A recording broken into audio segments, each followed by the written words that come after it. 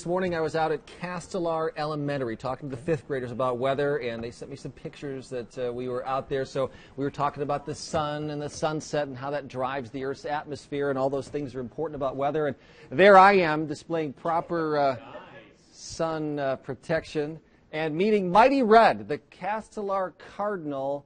Uh, but we talked a lot about the upcoming weather, the winter, no snow yet. I'm on record as saying I think we'll have two snow days this winter. None yet, obviously. And this evening we are mostly clear and 36 at 9 o'clock. No snow this evening. And now we're seeing a little snow off to the north of us in the Dakotas. Quiet radar here. It looks like this big, giant storm off the west coast. And a week ago, eight, nine days ago, we were looking at this saying, ooh, that's a chance we can get some snow.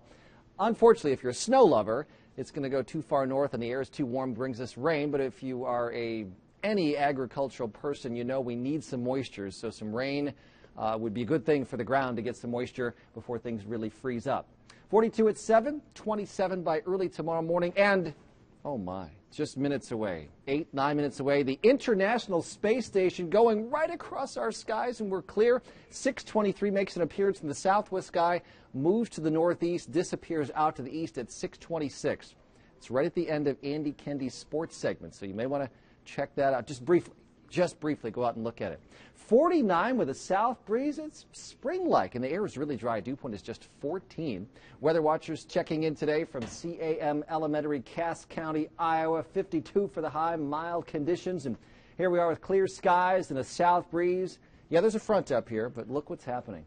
It's edging southward, but not here tomorrow. So another mild day. Lighter winds tomorrow. Really a pleasant day to be outside. This front may just edge through here, give us a light little northeast breeze for a time late tomorrow night and early Friday morning.